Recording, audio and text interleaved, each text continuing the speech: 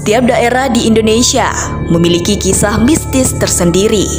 Beberapa di antaranya telah melegenda dan dipercaya secara turun-temurun, tak terkecuali cerita tentang kota Saranjana. Kota Saranjana digambarkan sebagai kota modern dengan peradaban yang sangat maju dibandingkan dunia saat ini. Peradaban tak kasat mata itu menjadi kisah yang kerap diceritakan dari satu generasi ke generasi lainnya. Kota Saranjana diyakini dipenuhi gedung-gedung megah hingga transportasi maju, serta ditinggali oleh masyarakat kelas atas.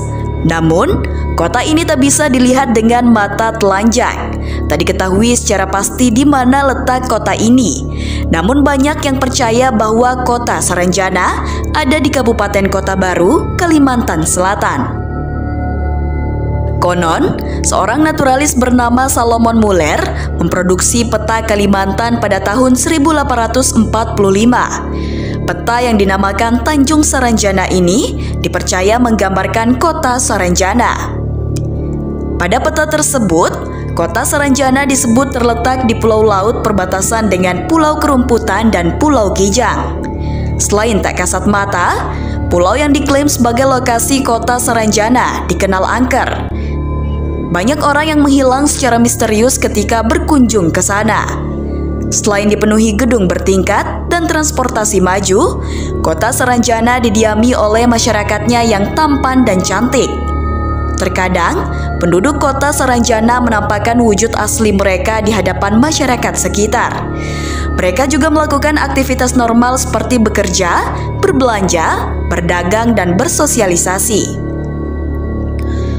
Walaupun terdengar menarik, konon siapa pun yang mencoba untuk masuk ke kota itu, maka mereka tidak akan bisa kembali lagi.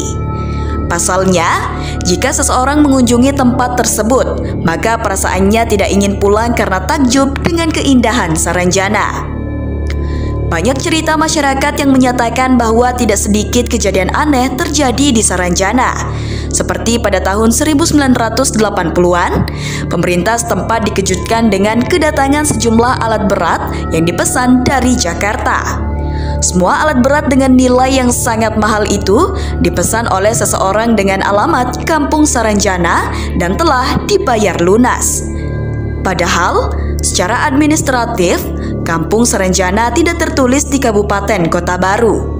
Beberapa artis ibu kota juga pernah mengalami hal aneh saat tampil di Kota Baru, Kalimantan Selatan. Di antaranya adalah Ari Lasso yang membagikan pengalamannya pada konten YouTube Raditya Dika. Ari Lasso dan bandnya mengaku saat manggung di tempat tersebut, dirinya melihat banyak tingkah aneh dari penonton. Saat konser berlangsung, para penonton hanya terdiam tanpa menunjukkan antusiasme sedikit pun. Saat menyadari hal itu, panitia menyarankan Ari Lasso untuk tidak mempedulikan apa yang penonton lakukan. Kala itu, penonton yang hadir di stadion sangatlah ramai. Di stadion tersebut hanya ada satu pintu masuk, jadi semua akses keluar hanya melalui pintu tersebut. Anehnya, saat konser telah selesai, dalam hitungan menit saja, penonton langsung hilang setengahnya. Hal ini lantas membuat Ari Lasso bingung.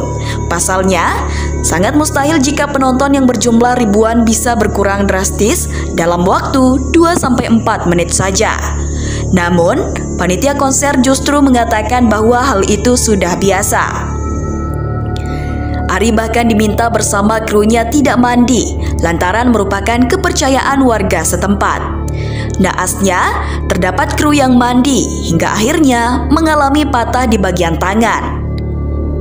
Pengalaman serupa pernah dialami oleh Ada Band dan Tantri Kotak saat manggung di lokasi yang sama. Meski banyak yang mempercayai adanya kota goib ini, mitos yang berkembang dari mulut ke mulut ini masih belum bisa dibuktikan secara ilmiah.